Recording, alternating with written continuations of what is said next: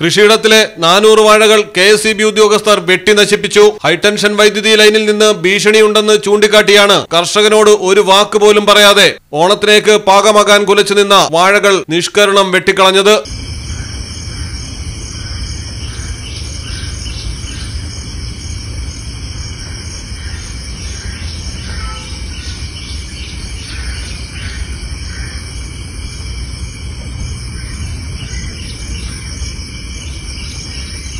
സംഭവം എറണാകുളം കോതമംഗലത്താണ്. പുതുപ്പാടി സ്വദേശി അനീഷ് രണ്ടര ഏക്കർ സ്ഥലത്ത് ആയിരത്തി അറുന്നൂറ് വാഴകളാണ് നട്ടിരുന്നത്. കൃഷിയിടത്തിന് മുകളിലൂടെ ഹൈടെൻഷൻ വൈദ്യുതി ഇലക്ട്രിക് ലൈൻ കടന്നു പോകുന്നുണ്ട് വാഴകൾ ലൈനിൽ തട്ടുന്നുവെന്ന് ആരോപിച്ചാണ് മുന്നറിയിപ്പ് പോലും നൽകാതെ കെ എസ് സി നാനൂറ്റിയാറ് വാഴകൾ വെട്ടിക്കളഞ്ഞത്.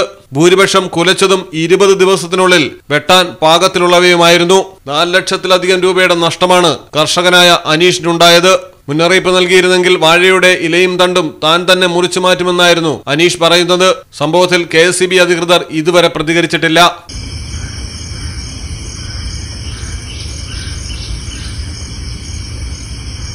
മലയാളം ടെലിവിഷൻ കൊച്ചി.